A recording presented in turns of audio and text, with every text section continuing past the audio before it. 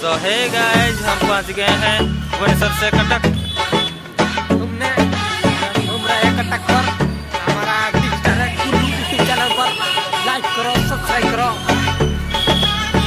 और? तुम तो बोलो।